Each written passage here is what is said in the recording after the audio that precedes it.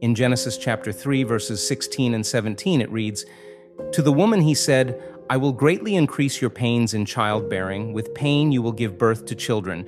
Your desire will be for your husband, and he will rule over you. To Adam he said, Because you listened to your wife and ate from the tree about which I commanded you, you must not eat of it. Cursed is the ground because of you. Through painful toil you will eat of it all the days of your life. Perhaps it's because of the immense joy and pain I've experienced being a parent that I've been thinking a great deal lately about how the actions of Adam and Eve, our first parents, influence our daily lives.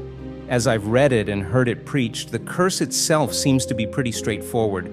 Women will toil in childbirth while men toil in work. I find myself wondering, though, how is this ancient curse evidenced in our modern existence as we seek to work out our salvation with fear and trembling? At the very core of the curse is the act of rebellion against God. Adam and Eve were not satisfied with what their father had given them and deemed it necessary to follow their own interests. They chose to look outside of their relationship with God for fulfillment instead of trusting that He would satisfy their every need. In doing so, they broke relationship with Him. The rest is history.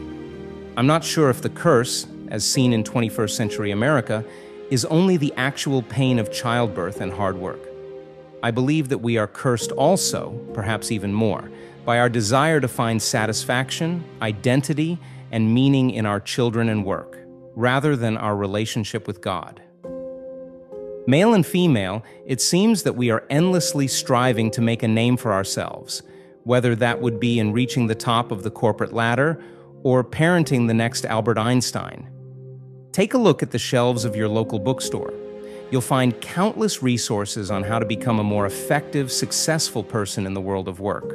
A quick search on the internet can yield a wealth of information on how to best meet the physical and emotional needs of your child even before birth.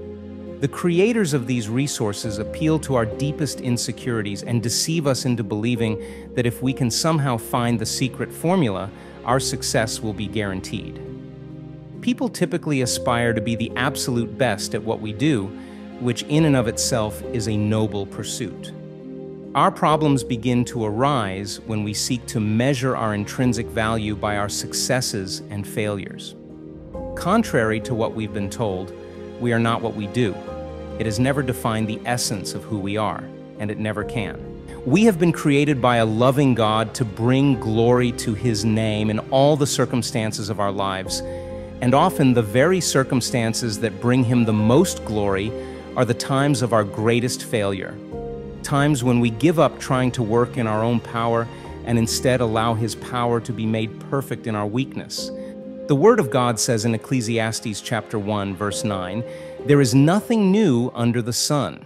While our daily struggles may not appear in the same form as our first parents, their essence is quite similar.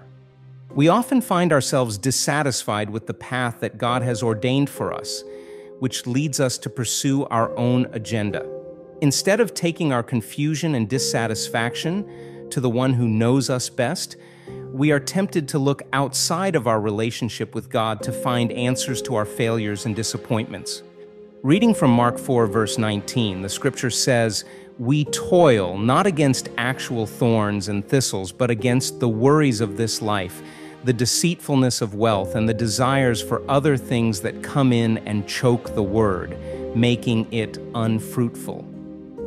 We seek the forbidden fruit of this world that will never satisfy while God waits for us to come and walk with Him in the cool of the day. He can meet our every need if only we would let Him. So today, I want to call on you to surrender it all unto Him.